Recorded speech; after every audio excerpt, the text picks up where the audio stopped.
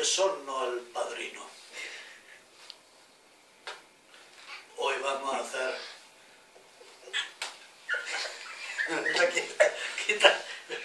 Hola a todos. Yo soy no el padrino. Hoy vamos a hacer un arroz al horno. ¿Qué está, eh? Quietecita. Hoy vamos a hacer un arroz al horno de mi primo, la mafia de Valencia. Los cans, quieta, y miau, miau. Los cans, los fabra. Cariño, ¿tú me quieres? A mí me dejaba en paz, que yo soy mamá. Tú sigue en el vídeo. Decía que me vais a dar un gato que no está quieto. No está quieto el gato y no me habéis dado la flor que está seca. La rosa está seca, el gato no está quieto, ni tengo el anillo, ni tengo nada. ¿Quién se va a creer que es el padrino? Llega un hombre que es del sur y lo habla todo con la Z. Hola a todos, ¿qué pasó? Ya hemos venido de Barcelona a la casa de la, de la niña. Uy, la que habéis escuchado en la presentación era la, la niña y no la madre, ¿eh? Bueno, hemos estado en casa de Elena en Tarragona. María Elena. María Elena en Tarragona. La mujer más guapa que hay en todo Tarragona. Lo que pasa es que Manuel, el marido, es algo celoso y resulta de que no me deja hablar con ella. Eh, me regaló esta cuchara que es para comer la crema catalana. Lo que pasa es que, ¿vale? Me parece a mí que... María Elena me ha regalado una cuchara. Ah, no, esto no es para la crema. Eso es para poner la cuchara. Ya está, que se me va la olla, se me va la olla. Yo creí que era para, que, para, que ya es para poner la cuchara cuando se cocina. Gracias. También estuvimos en la casa de Conchi en Valencia, con ella, su hijo el Chema y su marido Tato.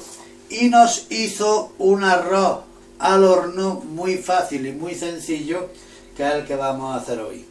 Para empezar tenemos aquí unas costillas de cerdo, que ya, hemos, que ya nos han troceado en la carnicería, y las vamos a echar en agua a cocer, las bañaremos en una olla cualquiera, y le echamos tres o cuatro dientes de ajo, y un par de hojas de, de laurel, un par de hojas de laurel. Vamos a echar la costilla a la olla, la bañamos en agua que sobre un par de dedos, procurando que la medida, la medida que vayáis a utilizar según los comensales que hacéis de arroz, si vais a echar 5 medidas de arroz, habréis de echar lo menos 8 o 9 medidas de agua. por cada medida de arroz, 2 medidas de agua. Pero tendréis que echar 5 o 6 medidas más de agua, puesto que las vamos a tener hirviendo en agua así tal y como están crudas, con el ajo y el laurel, una hora y 10 minutos. Así que no os quedéis cortos en el caldo, en el agua. Pues bien, vamos al lío que nos anochece. Vamos a un chorreoncito de aceite de oliva, el que más o menos calculáis para el arroz. Aquí en la sartén ya tenemos por este lado nuestras costillas cocidas, que las hemos tenido una hora y diez minutos hirviendo junto con el agua, que la tenemos ahí, que la hemos colado, pero está ahí en el fuego pequeño para que no se nos enfríe. Las costillas han tomado algo de color porque le hemos echado algo de colorante al agua. Eh, Vamos a echar tres dientes de ajo muy bien picaditos en nuestro aceite.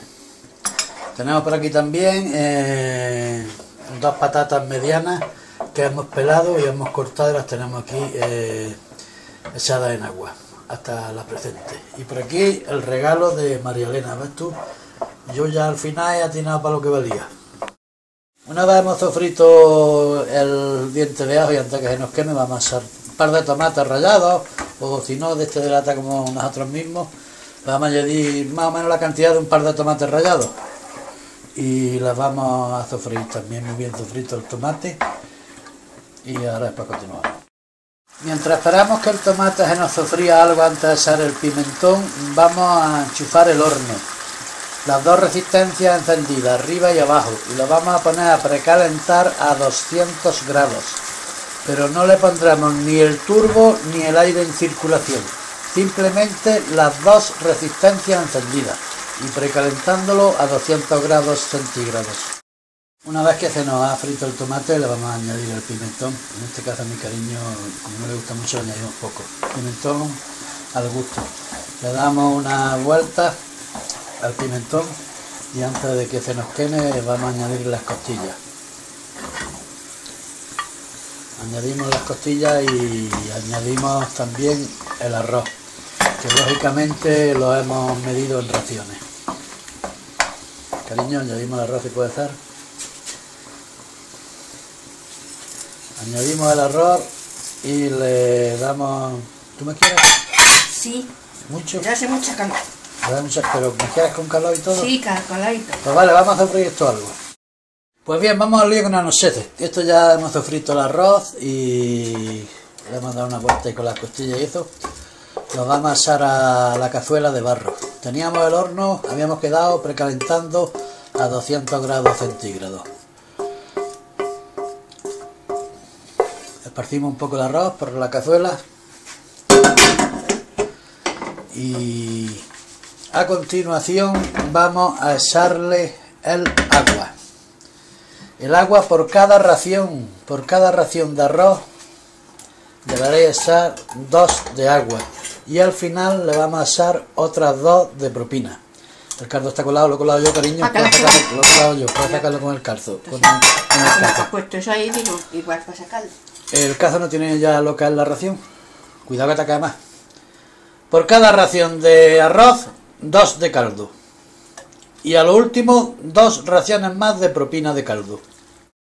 Pues bien, ya hemos echado el caldo. Vamos a ponerle las morcillas. En este caso son morcillas de cebolla. Así sale con la cuchara.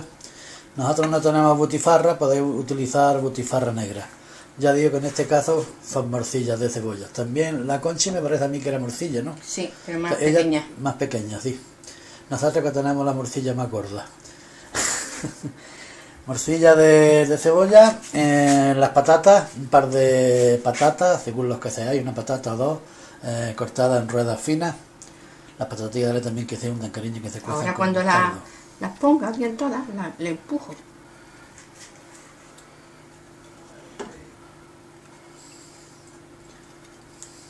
Todo esto, la morcilla y la patata, que se quede que se quede bajo el caldo, la verdad es que se quede ba- bañada. Ponemos las patatas y el tomate. Eh, medio tomate para cada, para cada uno, ¿no? Sí. Bueno, nosotros como somos cuatro pondremos dos tomates partidos por. Y todo ello lo pondremos al principio a 200 grados tal y como hemos precalentado el horno. Cuando empiece a, a calentarse, digo, cuando empiece a hervir, pues si acaso lo bajaremos a 180 grados. El tomate es como las lentejas. El que quiere lo come y el que no lo deja. Pero en fin, se lo vamos a hacer aquí para que te vaya haciendo el caldo. Pues bien, esto ya estaría. Así que ya lo introducimos dentro de nuestro horno y en cuanto empiece a hervir, eh, lo bajamos a No 180 empieza a hervir, empieza a, a chuchu un poquito. Vale, cuando empieza a chuchu. Pues cuando empieza a chuchu lo bajamos y si no lo dejamos a 100 grados, lo bajamos a 160 grados centígrados. Pues bien, esto lo hemos tenido, nos ha tardado a razón de 34 minutos. También esto va a depender en función de- del horno que tengáis, de la potencia que tenga. Puede tardar un poco más, un poco menos. Y este es el arroz que nos hizo Conchita en Valencia. Bueno, una copia, ¿eh? Yo creo que igual no nos ha salido co- como a ella. Ahora si sacamos, podemos sacar. Arroz al horno, sencillo, muy fácil como veis. Y, y ya está. Esto sería todo. Espero que a ver cuando lo pruebe que nos hayamos acercado al punto que le dio Conchita. Pues venga, sería esta otra.